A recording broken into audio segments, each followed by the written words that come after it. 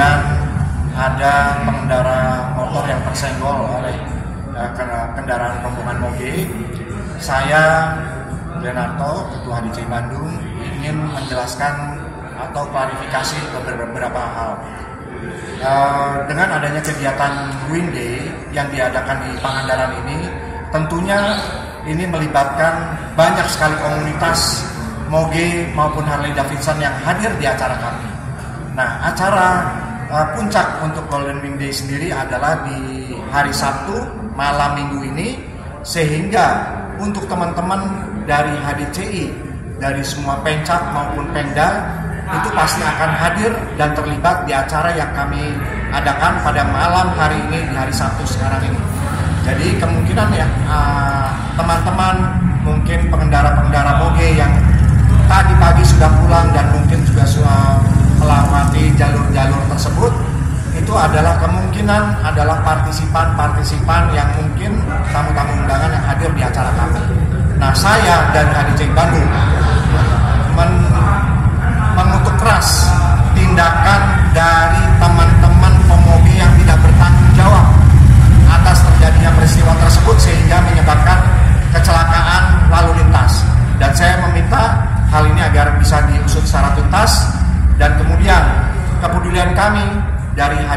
sebagai penyelenggara event Golden Week ini tentunya kami akan berkoordinasi dan kami tadi sudah melakukan koordinasi dengan keluarga korban difasilitasi juga tadi dengan kasat lantas.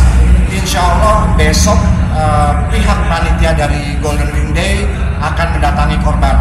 Malam ini pun juga perwakilan dari teman-teman kami diwakili oleh HDC Ciamis maupun HDC Tasik akan merapat ke rumah sakit TMC dan alhamdulillah dari uh, penjelasan dokter yang merawat uh, korban alhamdulillah korban baik-baik saja.